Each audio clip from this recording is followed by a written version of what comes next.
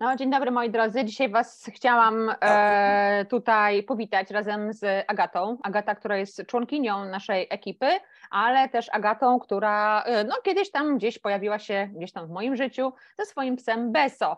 Agata, opowiedz coś tam o sobie. Dzień dobry. Zacznij od Beso. O. E, tak, e, mam na imię Agata. mam syneczka, który ma na imię Beso. E, generalnie Beso jest malutki.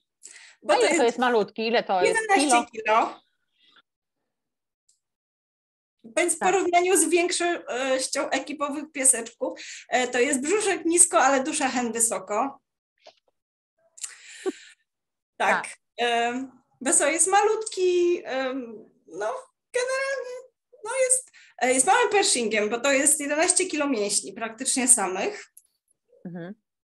Bo on, ma, no on jest znajdą, jest kundelkiem przede wszystkim, mhm. więc niewiele o sobie wiemy od momentu, znamy się od momentu, jak się poznaliśmy. Nie wiemy nic o Beso.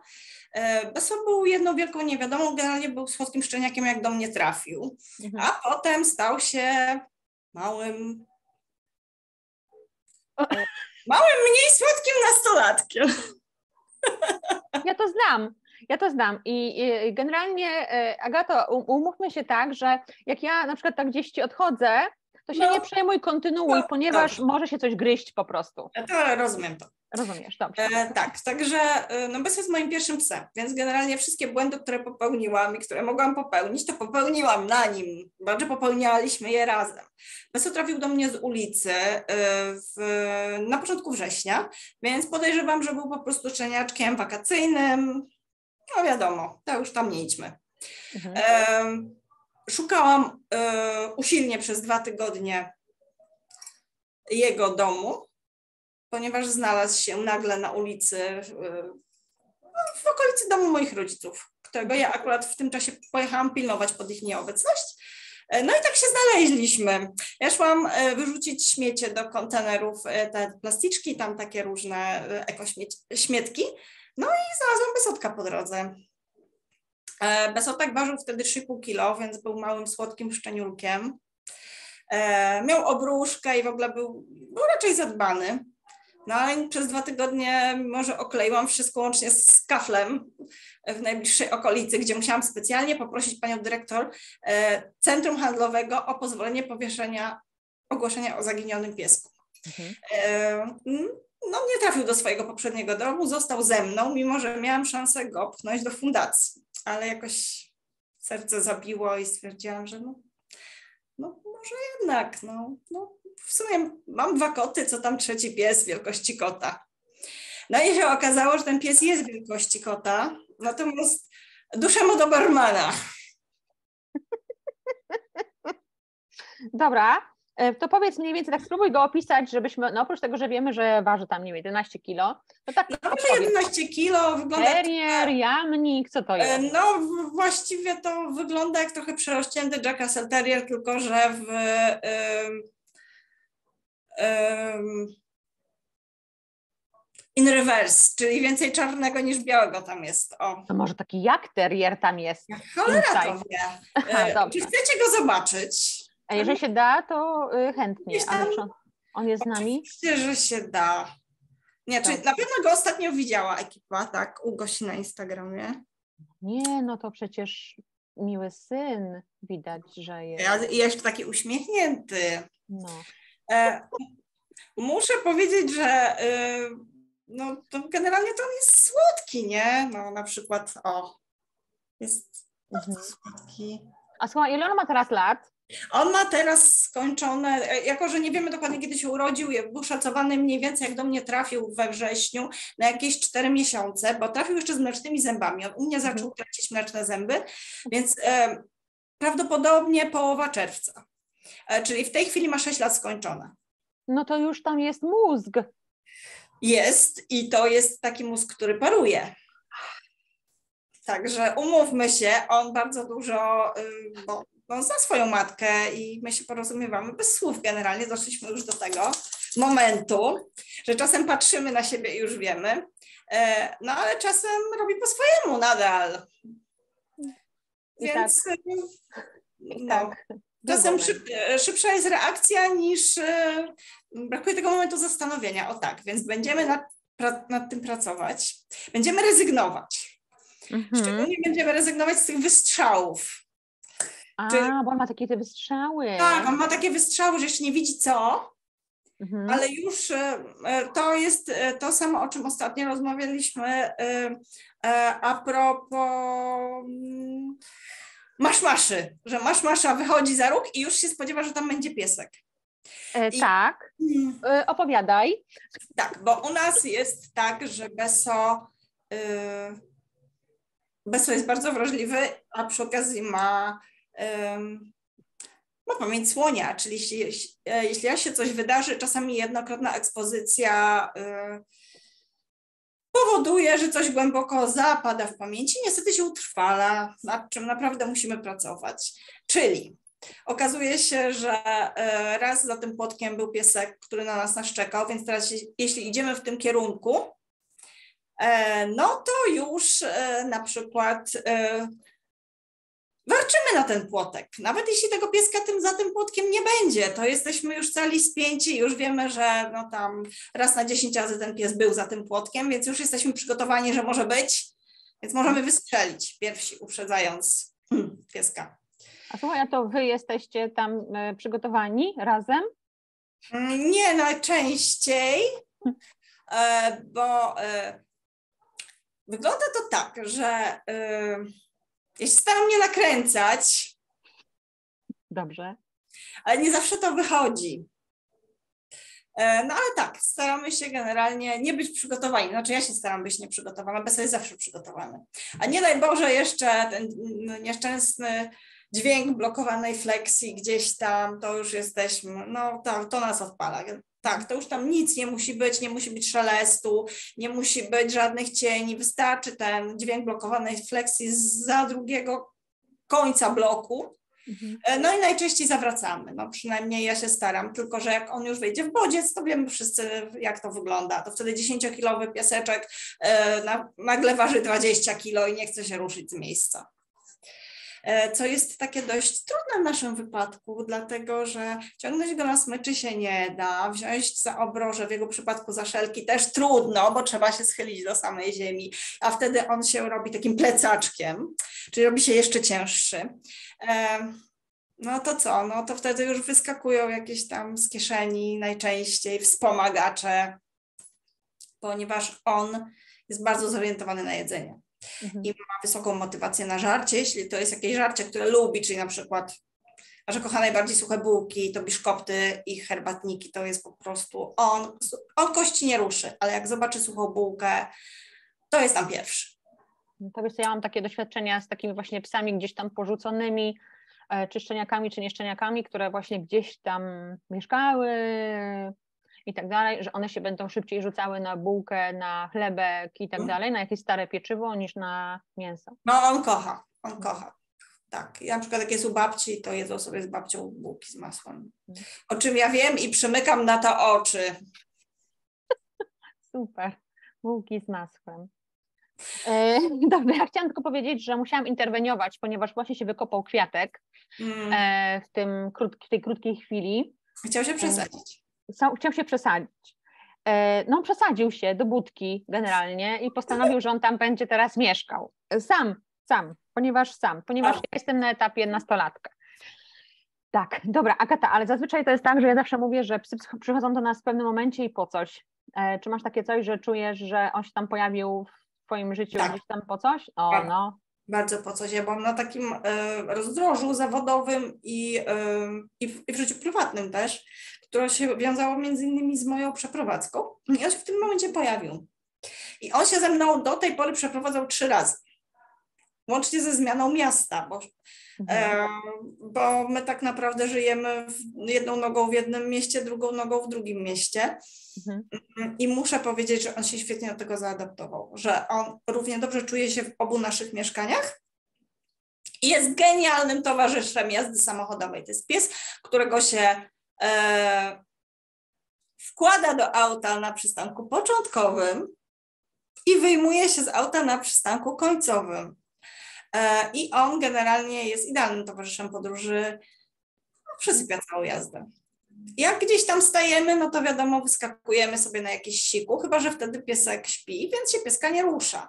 Mhm. Więc się podjeżdża pod McDrive, bierze się frytki z majonezem i się jedzie dalej. I wtedy już się nie staje. Dlatego, że on ma y, taki wbudowany zegar wewnętrzny, który słuchajcie, działa w ten sposób, że y, ja jak wjeżdżam do Warszawy, to w pewnym momencie zjeżdżam z trasy szybkiego ruchu i, i to są dwa zakręty. I on na tych zakrętach się reaktywuje, choćby spał całą drogę bo jest jednostronna jazda, powiedzmy, y, w, w miarę y, równym tempie i w pewnym momencie jest rondo, jest hamowanie, jest skręt i, y, i zjazd na osiedle. I w tym momencie to jest, nie wiem, półtorej kilometra od naszego domu. Mój pies w tym momencie wstaje. No wiem, wiem. Zawsze wiem. w tym momencie. On wie, że my już zjeżdżamy do domu. Mhm. I już wtedy jest już gotowy, już tam sobie, bo on y, nie jeździ w klatce, bo ja go nigdy nie klatkowałam. Mm, po pierwsze, nie miałam takiej świadomości wprowadzenia jakiegokolwiek kenelu w momencie, jak on był szczeniakiem, no bo eksperymentowaliśmy na wszystkim. Po drugie, y, on nigdy tego nie wymagał, dlatego że poza tym, że zjada inne pieski, nie zjada niczego w domu pod tym względem jest po prostu ideałem chodzącym. E, moja mama, jak przychodzi do mnie, to się dziwi, jaki ja potrafię mieć mówiąc w cudzysłowie, pierdolnik w domu. Generalnie leży wszystko. Stoją kubki, e, leżą papiery pracowe, leżą moje otwarte torebki i stamtąd nic nie znika. Ani moje koty niczego nie zrzucają z różnych powierzchni płaskich, co koty najczęściej robią. Moje nauczyły się, że tak ma być w naszym domu. E, no i bez niczego nie zżera. Mhm. U nas nic nie wybucha.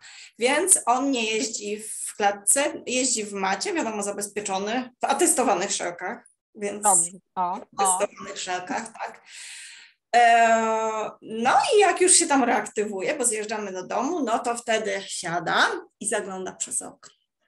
I w momencie, jak psa się wyjmuje z auta, to pies biegnie prosto pod klatkę i się nie może doczekać, aż otworzą mu się drzwi. I on po prostu w podskokach, bo mieszkamy na pierwszym piętrze, leci na to pierwsze piętro i tupta pod drzwiami, że otwieram. Puść mnie do domu, puść mnie do domu. Tak, puść mnie do domu i wtedy tak. E, leci, oczywiście musi sprawdzić wszystkie kąty. Jest z reguły zdziwiony, że naszych kotów tam nie ma, no bo koty z nami nie jeżdżą. Koty raczej mieszkają w jednym miejscu stacjonarnie, tam gdzie przez parę miesięcy w roku rezydujemy akurat. No i tak, no sprawdzę wszystkie miski, a potem idę spać najczęściej. No, w międzyczasie jeszcze oczywiście idziemy na sik osiedlowy, bo trzeba e, powiedzieć wszystkim znajomkom, że wróciłem, czyli oblewamy wszystko, wszystko, wszystkie bramy, a idziemy naszą ciocię kochaną odwiedzić, bo mieszka dwa bloki dalej i musimy iść popatrzeć do niej w okno. To jest okay, punkt programu. Czyli w śmieciach trzeba pochodzić, nie? Tak, tak, tak, bo, bo mamy ciocię Martę i ciocia Marta ma Pyzę, to jest jego po prostu best friends ever. Ever, tak, i forever. E, I oni bardzo fajnie razem wyglądają, bo on waży 10 kg, a ona waży 56. Bo e, to jest dziewczyna Cane Corso. E, Mała Pyzunia. Mhm. Tak, i Pyza ma na imię. Mhm. Ma na imię Pyza, także to jest e, mały Beso i duża Pyzunia i oni jak idą razem na spacer, to generalnie uśmiech na twarzach wzbudzają, no bo e, tak. proporcja jest dość zabawna, natomiast kochają się bardzo. E, I jeśli chodzi o temperament, to proporcja też jest dokładnie taka, bo Beso ma taki temperament, a Pyza ma taki temperament, mimo że jest dużym cielaczkiem. Słuchaj, a ty tam miałaś z nim takie problemy typu, e, no on tam nazwijmy to tak książkowo, reaktywny do innych psów, no tak, ale Pyzą daje radę. E, on przyjaciół. Znaczy, e, tak, dlatego że to nie jest kwestia. Um, to jest kwestia jego złych doświadczeń. On jako ten nastolatek w wieku 9 miesięcy został pogryziony przez owczarka niemieckiego. I to się od tego wszystko zaczęło. Czyli ta jednorazowa ekspozycja w tym okresie lękowym, która potem tak naprawdę ja mimo, że pracowałam pod, z nim pod okiem kilku osób, to to nie było do końca dostosowane do jego temperamentu i do nas, do naszego trybu życia, bo to były takie no, dobre rady, które może u wielu osób się sprawdzą, no u nas nie do końca. E, teraz po tych kilku latach z nim i po tym, mm, jak trochę, że tak powiem, x webinarów później, E, tak, także x webinarów później, x kursów później i przeczytanych książek, e, wiele rzeczy zrobiłabym inaczej, ale wtedy nie miałam takiej świadomości, dlatego że to był mój pierwszy pies i nie wiedziałam, z czym to się Także widzisz, tak. A widzisz, żeby ta reaktywność się teraz troszeczkę zmieniła, że na przykład tak. się zmniejszyło? Dobra. No Zdecydowanie się zmniejszyła, ale to jest też kwestia tego, że nauczyliśmy się pracować w dystansie, mhm. e, tego, że mój pies jest bardziej pewny siebie, to na pewno. E, I to, co, o czym mówiłyśmy w, na uważności, to, że ja y, mu po prostu bardziej ufam, co się przekłada na taką relację, mniej go kontroluję, pozwalam mu e, więcej, no więcej decyzji podejmować e, samemu, ale to dlatego, że jego kompetencje społeczne wzrosły, więc no. No, właśnie. To jest wypadkowa. Bo, może, rzeczy. Może zaznaczmy to, Agata, tutaj, że to nie jest tak, że stop kontroli i ja już nie kontroluję mojego psa, tylko y, budujemy kompetencje społeczne mojego psa i dopiero wtedy y, tak. on decyduje, nie? Tak, tak, tak. Mhm. Tak, bo no, po prostu jest mądrzejszy, no ten orzeszek tam gdzieś się lepiej już w mózgu ukształtował. A powiedz mi, a robiłaś takie rzeczy typu przedszkole, jakieś szkolenia, tak. coś tam? Okej. Okay. Ale on Mm, ale przedszkole myśmy zrobili jeszcze przed tym pogryzieniem, które mhm. nastąpiło. Więc on mm, no, był modelowy w przedszkolu. No był modelowym. Byliśmy w naprawdę dobrym przedszkolu, gdzie generalnie grupa była mała, psiaki były fajnie dobrane i no i, i um, i nie było tam tego, co się w, najczęściej w przedszkolach zdarza, czyli szczeniaczki nie były wpuszczane za płotek i nie tłukły się. Mhm. Więc były zajęcia, były przerwy między zajęciami i na tych przerwach między zajęciami była fajna rzecz, bo był e, dostępny duży teren. Tam, te, tam też e, prowadzą agility, jakieś tam inne e, zajęcia, więc no to tam są różne pierdolety, gdzie tam szczeniaczki mogły być zainteresowane. Ale zadaniem naszym jako opiekunów było obserwować swojego psa w czasie tych przerw. E, co było fajne, bo można było zobaczyć, jak te szczeniaczki faktycznie przeprowadzają między sobą interakcje i um, uczyli nas, jak, y, jak interweniować, czyli jak stawać za swoim psem. Także y, ja nie mogę nic złego powiedzieć o moim przedszkolu, poza jedną rzeczą. Już wtedy Beso wykazywał skłonności do wrażliwości na bodźce. I ja teraz, z tą wiedzą, którą mam, ja to widzę. To już wtedy można było wyczuć. Czyli generalnie y, trenerzy, którzy prowadzili to w przedszkole, też powinni to widzieć i powinni mnie na to uwrażliwić. Mhm. Ale nikt tego nie zrobił. A jak to się pokazywało, ukazywało? Jak to e. się. Y, mhm. Były na przykład były takie testy dla szczeniaków robione mm, z wrażliwości na bodźce, czyli na przykład tam y, trenerzy i osoby, e, które przechodziły na te zajęcia, przebierały się za różne. Było, na przykład był trening e, medyczny, czyli była pozorowana wizyta u weterynarza, bez jest w ogóle super, więc jeszcze my chodzimy do cioci Ewy, więc się rozkładam, jest ekstra. Ale to nie o to chodzi. E, były balony, były wózki, były dzieci biegające, były różne rzeczy i była jedna rzecz był w, za takim płotkiem, na takim pozorowanym placu zabaw, były dwie maskotki ustawione, które e, markowały psy obce. I za tego płotu mój bez jeden z, tylko jeden z tych szczeniaków, było sześć szczeniaków e, na przedszkolu, e, tylko on wykazywał wobec nich jakiekolwiek sygnały stresu czyli walczał przy tym płocie, y, widać było, że nie czuje się komfortowo, szczekał na te, y, jak już go tam wpuścili, obwochał i okazało się, że to są sztuczne pieski, no to okej, okay, to, to w ogóle nie grało roli, natomiast był jedynym szczeniakiem, który wykazywał tego typu zachowania. E, i nikt nie zwrócił na to uwagi, w sensie mi, żeby mnie uwrażliwić, że może być to problem, jeśli to się wzmocni, że trzeba budować w nim takie, a nie inne kompetencje. Mhm. Natomiast teraz ja to widząc, ja wiem. Ja bym zrobiła inaczej. Pewne rzeczy w nim bym, przede wszystkim nie wykastrowałabym go bo no myślę, tak. że to też nie pomogło. Ale też nikt wtedy mi nie powiedział, że y, to, że ja mu zabiorę hormony i testosteron, to może to wpłynąć na takie zachowania. Także to jest, to są klocki Lego, które w tym momencie się gdzieś tam przewróciły. Y, znaczy wiesz, no my generalnie uważam, że my ciągle tam zbieramy te klocki i ciągle przebudowywujemy, nie? Że to nie jest tak, że no wybudujemy jeden zamek i on ma to ciągle tak samo wyglądać, tylko Właśnie dla mnie to jest takie puzzle, które e, ciągle zmieniamy te puzzle. Tak, nie zawsze jest ten sam obrazek, nie? No to jest prawda. No. Ale pewne rzeczy zrobiłabym inaczej. Mając w rękach takiego szczeniaka, bo to jest szczeniak z bardzo dużym potencjałem, z tym, że to nie jest pies dla każdego, mimo że to jest kundelek, ponieważ Beso ma bardzo instynkt łowny, silny. Bardzo. On po prostu, on, to jest maszyna, która jak wychodzi, to cały spacer z nosem przy ziemi idzie. No i to jest kundelek z genami XXX. Nie wiemy, co tam jest, co tam się zmiksowało. E, ale to nie byłby, mm, on nawet gdyby nie miał swoich problemów z tą wysoką wrażliwością na bodźce, to nie byłby psem takim, który całe życie mógłby spędzać na kanapie i wychodzić na 15 minut trzy razy w ciągu dnia wokół bloku, mhm. bo wtedy myślę, że to przerzuciłoby się na inne kwestie, czyli albo zacząłby niszczyć w domu, bo gdzieś musiałby tą energię spożytkować, albo może, może by to poszło w lęk separacyjny, bo mój pies generalnie mieszkając w tylu domach, wszędzie czuje się bezpiecznie. To jest dla mnie coś niesamowitego, bo ja nad tym nie pracowałam, to wyszło samo, bo to wynikało z naszego trybu życia. Um, no i bardzo jestem wdzięczna mu za to, że tak mnie łagodnie potraktował pod tym względem. Że tam sobie zbudowałaś fajną relację, nie?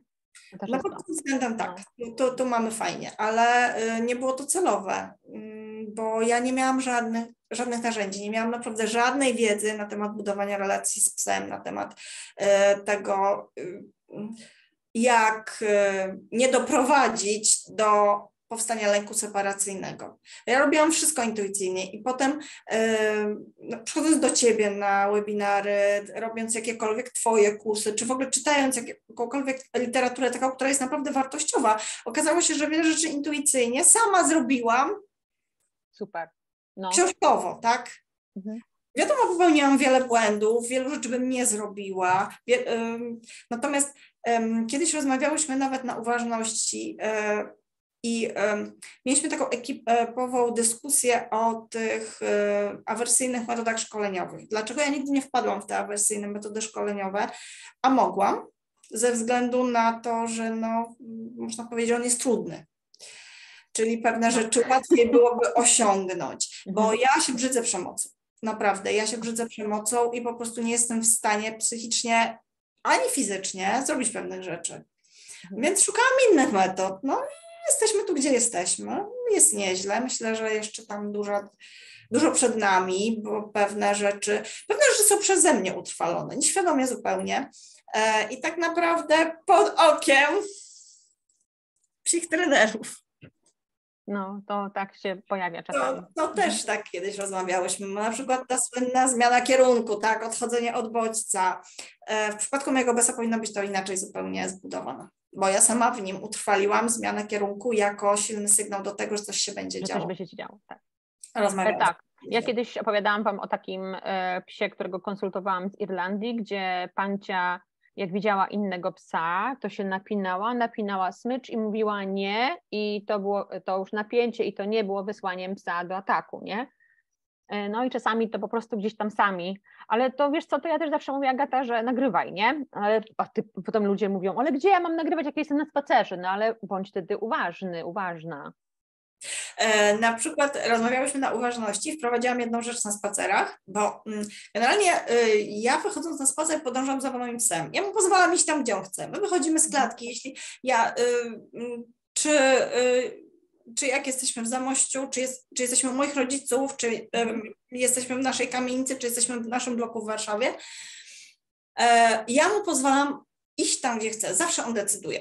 jeśli oczywiście nie ma żadnych zagrożeń, psów czających się za rogiem albo nie wiem, tam jakiejś głośnej młodzieży, bo on reaguje źle na wysokie dźwięki, bo nie jest do tego przyzwyczajony, więc z reguły jeśli idzie duża grupa, to no może być to dla niego niefajne, niekomfortowe, więc nie idziemy w tą dużą grupę. Wiadomo, wybieramy e, kierunek przeciwny.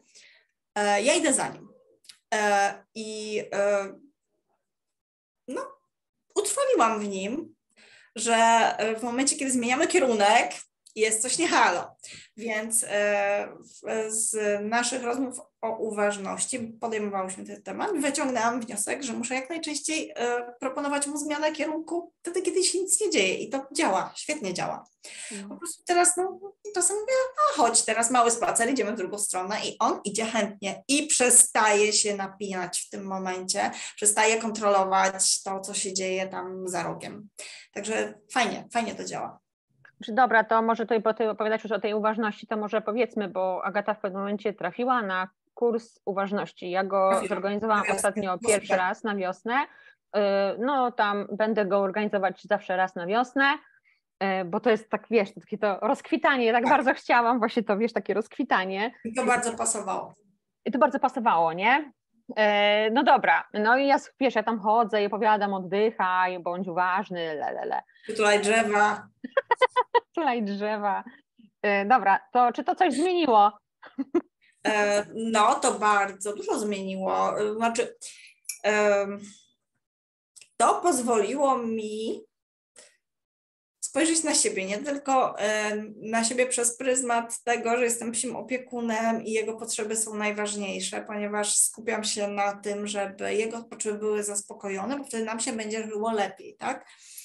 Tylko tak. na tym, dodatkowo, że moje potrzeby też są ważne, no bo to tak jak się mówi, że szczęśliwa matka, szczęśliwe dziecko, to w przypadku psiego rodzica jest dokładnie tak samo.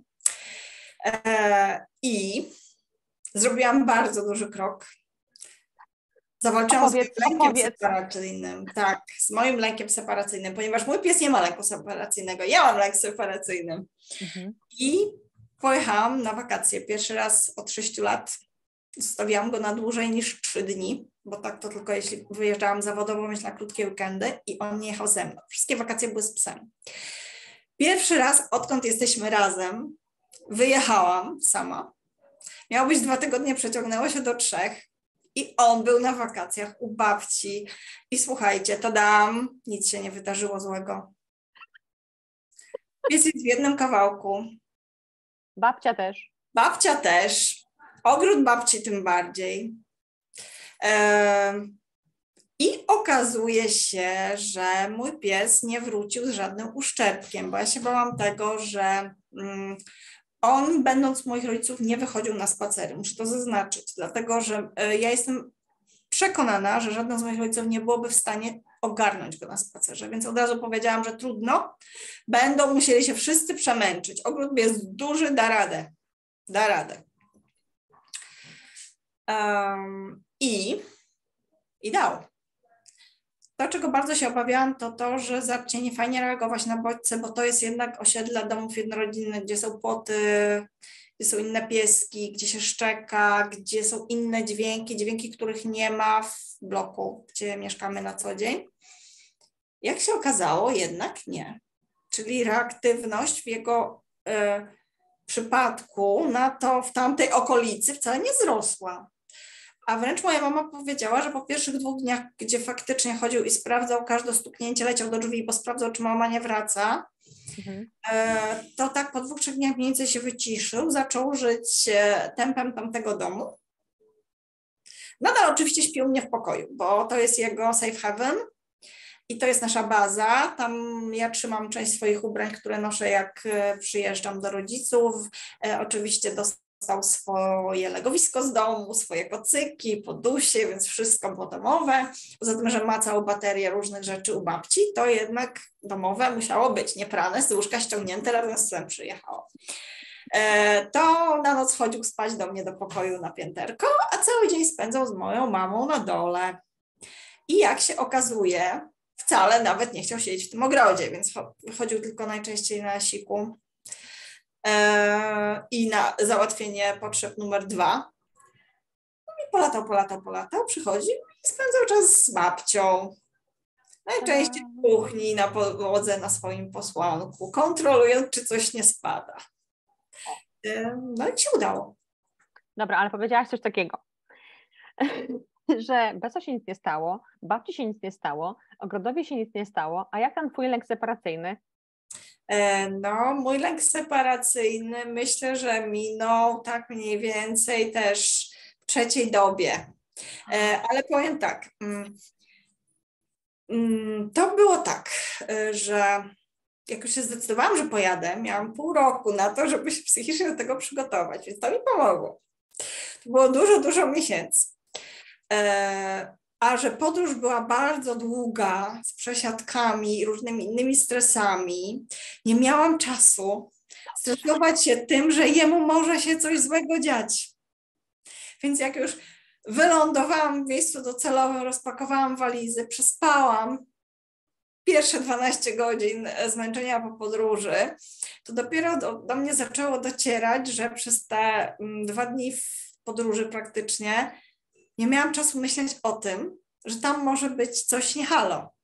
Mhm. I się okazało, że po pierwszym wykonanym telefonie e, no wszyscy żyją, radzą sobie świetnie. Jak to moja mama powiedziała, Beso już nie sprawdza, czy wracasz. To bolało bardzo, bo to był strzał prosto w serce. Beso już nie sprawdza, czy wracasz. Bardzo dobrze. To dobrze. Tak. No i przeżyliśmy. No I, dobra, czyli ciężki ten lęk separacyjny masz. E, no, znaczy, Ciężka forma. z tego, że ja zdaję sobie sprawę, mm, jaki jest mój pies i jak dużo wymaga, żeby go ogarnąć. E, I że nie każdy sobie z tym poradzi, bo tak naprawdę tak jak w tym memie, że jest taka mikroskopijna lista osób, którym ufam, jeśli chodzi o niego. To jest dokładnie tak. Y, to oprócz mojej mamy, y, to są jeszcze tylko dwie osoby. Mamy ciocię Martę w Warszawie, która z nim zostaje, tylko że tam jest, tam prowadzi życie standardowe, chodzi na spacery, ale Marta go zna od szczeniaka wyjeżdżamy razem, razem spędzamy wakacje, ona z nim wychodzi, ja się opiekuję Pyzą, więc oni są razem, oni razem też się inaczej zachowują, bo Pyza jest bardzo stabilnym psem, bardzo, mhm. więc ona daje mu duże wsparcie i on przy niej też jest inny. Okay. Więc to, to jest też, też na pewno łatwiej. E, no ale Marta go wyprowadza i potrafi sobie z nim świetnie radzić na spacerach. I mieliśmy jeszcze taki zaufany hotel pod Warszawą, niestety już nie przyjmuje piesków, e, który był w stadninie koni. E, gdzie był ogrodzony teren i, i gdzie po prostu, gdzie mój pies upolował nietoperza. Tak. Tak, ciocia Ewa powiedziała, że no jak poszedł kiedyś z nią oporządzać koniki, do, bo, bo mój pies generalnie lat, nie lata luzem, ze względu na koty i ze względu na sarenki i na wszystko, więc najczęściej chodzi e, na biotanie. Długim, bo długim, ale jednak. E, dlatego że ja nie do końca mu ufam, tam może tego przewołania jest 95%, ale te, te 5% zawsze jest, że sarenka wyskoczy. E, a u cioci Ewy e, chodził luzem z nią w tej stadninie i nigdy się nic nie wydarzyło, poza tym, że upolował nietoperze. I faktycznie go upolował. Więc no, no nie wiem, co tam w nim się zmiksowało. Na pewno coś. Z takich ciekawszych na przykład historii, to kiedyś byliśmy, uwaga, w Mazowieckim Parku Krajobrazowym. Czyli to jest takie miejsce, gdzie wychodzą sobie ludzie, no, chodzą na rowery z dziećmi, z pieskami, no ale to generalnie taki parkolas. E, jest to miejsce, które lubimy, bo jest blisko naszego domu, bo z, mm, Grochowa jest tam blisko, z Pragi. E, I przede wszystkim jest to las iglasty, więc nie ma kleszczy, więc to jest takie fajne miejsce, suche zawsze do chodzenia. Taki na niedzielny poranny spacer jest idealny. E, no ale pewnego dnia Pyza z Besem wygonili stado dzików z małego zagajniczka. Więc tak, takie rzeczy się nam zdarzają na spacerach. Pyza Co najdziwniejsze, dziki się bardziej ich bały. No bo taka pyza. No taka no. pyza. Słuchaj, patrzę sobie na te pytania, które sobie dla Ciebie za, zapisałam. A czy czujesz, że miałaś jakąś taki, taki okres, taki wow, boom, taką y, okres, nie wiem, punkt zwrotny, metamorfoza, o. Metamorfoza Besa? No Moja? Jakby, Nasza? Moja? No taka jakby wiesz, że czujesz, że jakby był takim, kiedy jakby zauważyłaś, że nie dość, że to co, coś, co robisz, jakby inaczej zaczęłaś patrzeć e, i to ci zadziałało. E, tak, tak. Jak doszłam do tego momentu, że, że najważniejsza jest akceptacja. I jak sobie uświadomiłam, że muszę go akceptować, znaczy muszę. Jeśli będę go akceptować takim, jakim jest, to będzie nam łatwiej. Mhm. E, ponieważ chyba każdy, kto ma psa z jakimkolwiek problemem, czy swoim, czy psa, bo najczęściej my jesteśmy dużym problemem naszego psa, Mhm. em, jeśli odpuszcza te wszystkie książkowe rozwiązania i tego, że y, i myślenie przede wszystkim, że y, inni tak naprawdę nie mają, to tylko u nas tak jest, No, no. e, to od razu jest lepiej. To był ten okres, tak, to był ten moment zwrotny, jak sobie uświadomiłam, że akceptacja w naszej relacji jest najważniejsza, że on jest taki, jaki jest i ja mu pomogłam być takim, jakim jest, więc to też jest dużo mojej winy, ale no, pewne rzeczy po prostu zrobiłam z niewiedzy. Mm. Wiedzy, nie wiedzy po prostu zrobiłam. Zostawmy tam jakby. Zrobiłam. No. Zrobiłam, tak. Teraz, teraz bym nie zrobiła, no ale wyszło jak wyszło.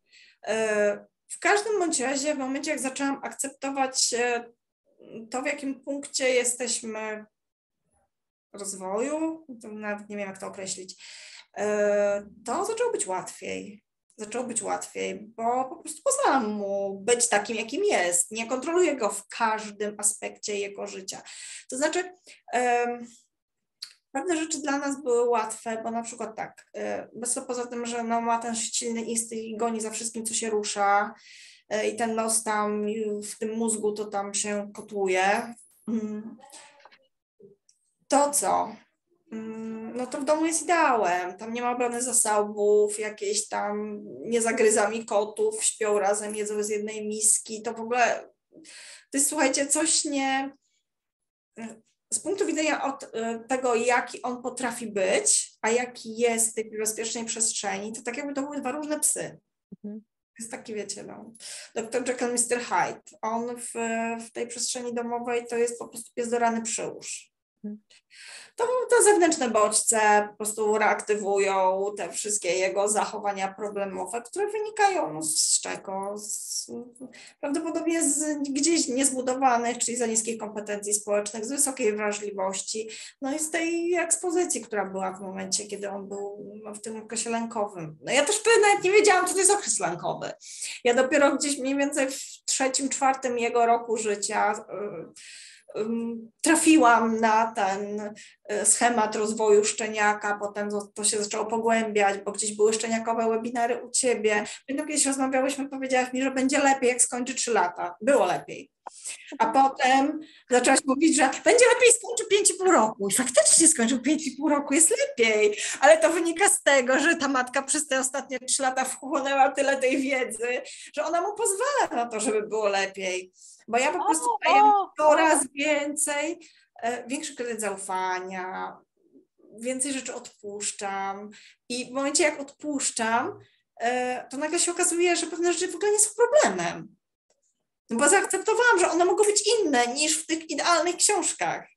Ale te książki nie są idealne. Nie są idealne. No to to, o czym rozmawiamy, że ta wiedza cały czas ewoluuje. O tych Tak. kursach, które są na trzy lata i jak napiszesz tę pracę, oddasz tę pracę trzy lata wcześniej, a trzy lata później ją sprawdzą, to ta wiedza w ogóle może być nieadekwatna do tego momentu, w którym już jesteś trzy lata później.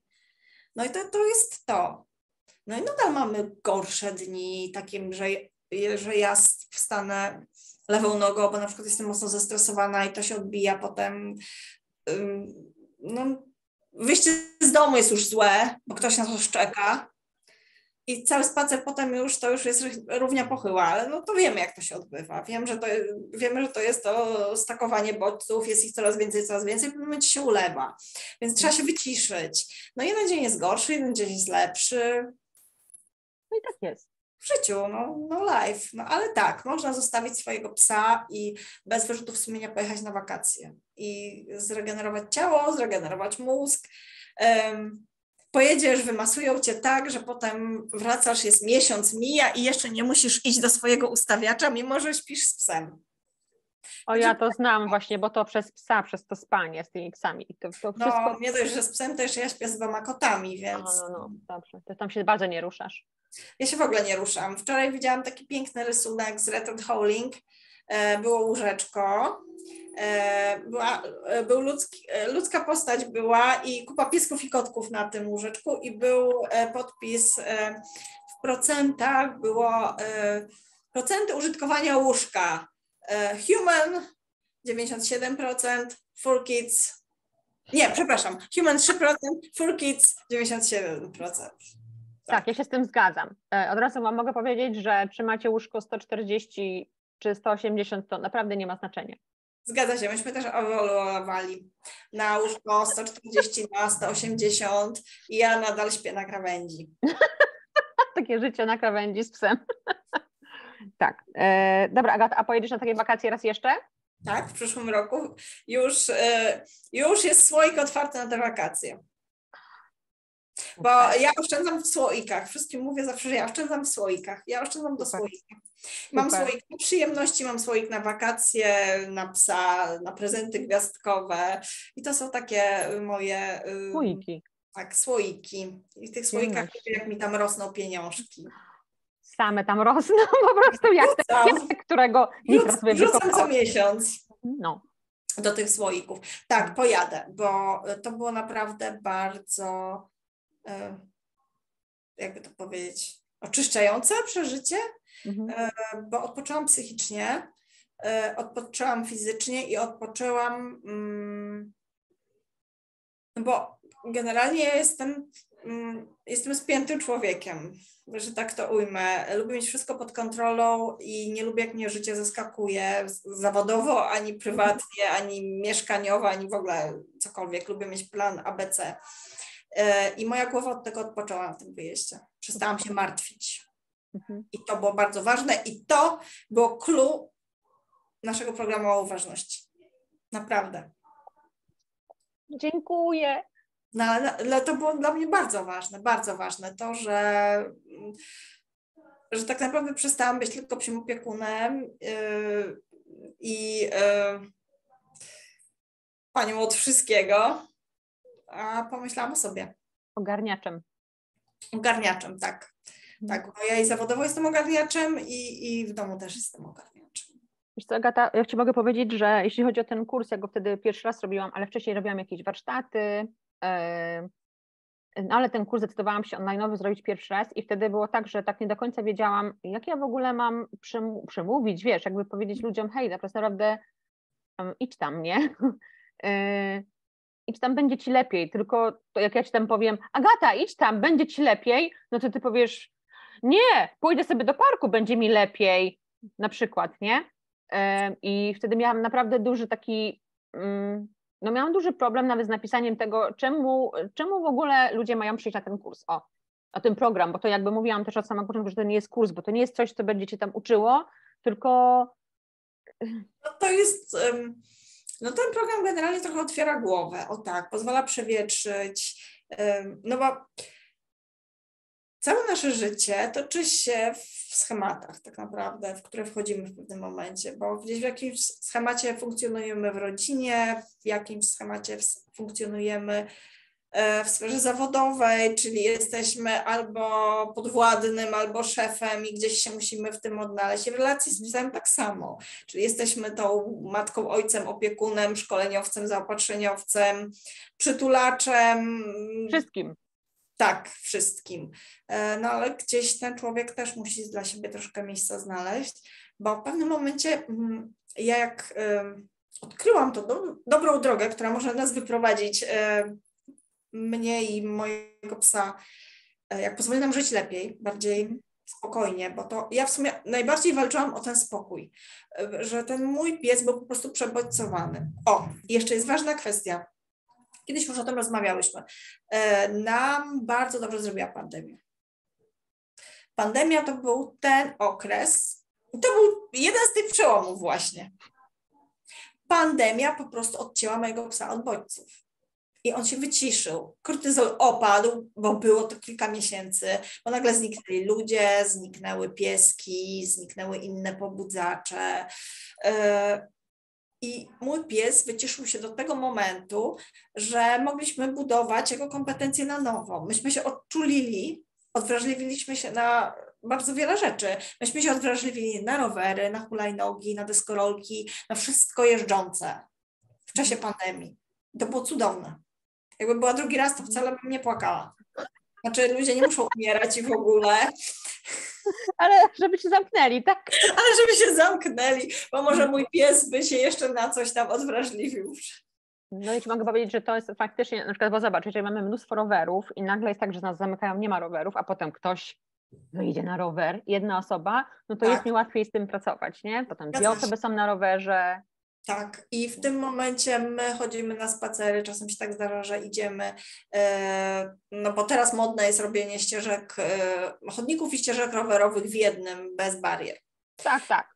I my teraz sobie chodzimy takimi e, ścieżkami w ogóle bez napinki, czyli ja się nie napinam i on się nie napina, bo ja wiem, że on to zlewa zupełnie. Mhm. I to jest po prostu fantastyczne, bo on sobie chodzi, węszy, oblewa latarnię i nawet ostatnio mieliśmy taką sytuację, że było już ciemno, Mhm. e, latarnie były wygaszone, bo oszczędności Poczekaj, poczekaj, uciekłaś mi. Poczekaj, poczekaj, poczekaj, poczekaj, poczekaj, poczekaj. Mm. Agata mi uciekła i się zamroziła.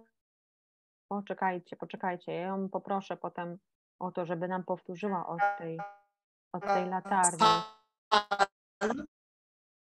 Jak tam wraca? Wraca czy nie wraca?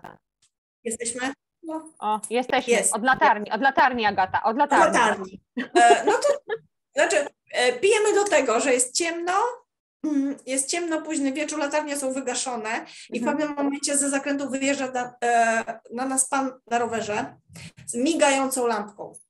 Czyli nie widzimy nic, tylko porusza się migająca lampka. Mhm. Słuchajcie, nic. Nic, nawet, nawet nie podniósł głowy. I po prostu w takich momentach to jest dla mnie takie szczęście, że ten mój pies jest tak pewny siebie, że już takie rzeczy go nie ruszają, że to jest coś niesamowitego. No, mega. No, tam też, bo tam w, jakby w tej zmianie psa to jest nie tylko pies, nie? No tak, no ja też się nie denerwuję, nie ma tego stresu, nie pachnę stresem, bo on to wie, tak, on to zawsze wie. Ym, No ale no, to wymaga ode mnie pracy, od niego pracy, no więc gdzieś tam razem się docieramy. Mhm. A jeszcze tam na przykład nienawidzimy biegaczy, chociaż ostatnio parę razy zdarzyło się, że ktoś koło nas przebiegł i też nie było reakcji. Okej. E, jeszcze nie do końca rozgryzłam tego, te poprzedzacze akurat. Mhm. Dlaczego w tych momentach tak, a w innych nie? Czy to jest to ten, ten, ten, ten czy, czy, czy to jest poruszanie się to miarowe? Okej. to jest randomowe, y, Mhm. dla mnie jeszcze. Mhm. E, ale tak, już się zdarza, że, że biegacze też nie. nie. Znaczy, no Beso miał niestety taki ym, nieszczęśliwy wypadek, bo pan go kiedyś kopnął wybiegając za rogu, więc no się utrwaliło, więc ci biegacze na pewno są gdzieś tam nacenzurowane. Natomiast nie jest to y, kwestia szybkiego poruszania się. Mhm. Okej. Także to, to, to wiem, więc Mhm. gdzieś tam indziej gdzie jest. Zobaczymy. Myślę, że Dobra, generalnie myślę, że tam wiesz, wy jesteście na bardzo dobrej drodze i jakbyś miała teraz kolejnego psa, to już jesteś w stanie tam znacznie lepiej go poprowadzić, a no, na pewno. no, Nawet jamnika. nawet jamnika. Jam, e, Be- Beso ma tak dużo z jamnika, on ma tyle jamniczych zachowań.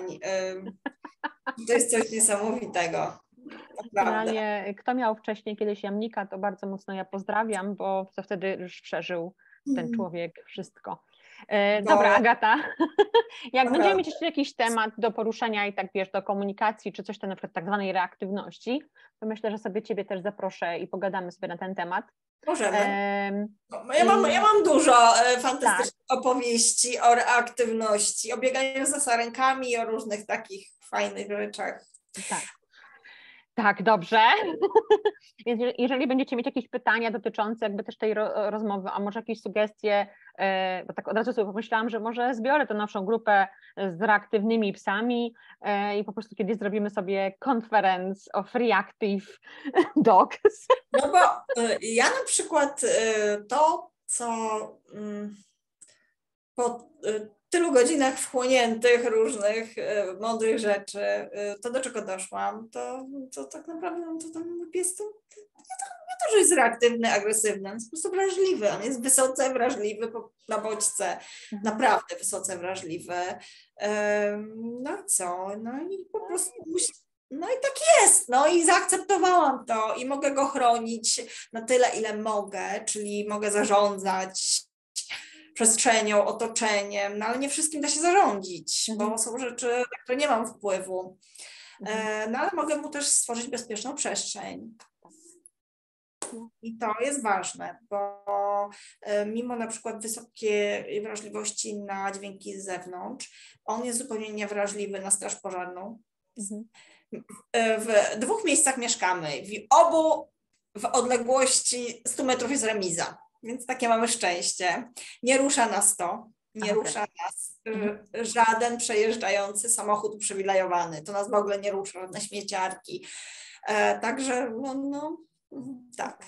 Natomiast co nas rusza? Jak nam szczekają pod oknem, jak nam sikają pod oknem, to nas rusza. No. Co będą nam sikać pod oknem? Kleją na nasz, na, na, na nasz płot, to nas rusza. No. No to, to, to wiadomo, no, ale kogo by nie ruszyło? No, ale to nie rusza. No, no. Dobra, i tym pozytywnym akcentem myślę, że możemy e, zakończyć na dzisiejsze spotkanie. No Jeżeli no będziecie mieć jakiekolwiek e, pytania, tak. to wrzucajcie nam tutaj w komentarze, bo e, to nagranie będzie na YouTubie. E, no i co, Agata, to co, żegnamy się, ja mówię cześć. Żegnamy się, tak, wesołych świąt przy okazji, bo to A, już okres świąteczny, także już zaczynajmy. Tak, ja się tak. bardzo cieszę, bo ja kocham dawać prezenty, to jest po prostu jedna z moich radości życiowych. To super, to też wesołych świąt. Do usłyszenia, do zobaczenia. Do zobaczenia, pa, pa.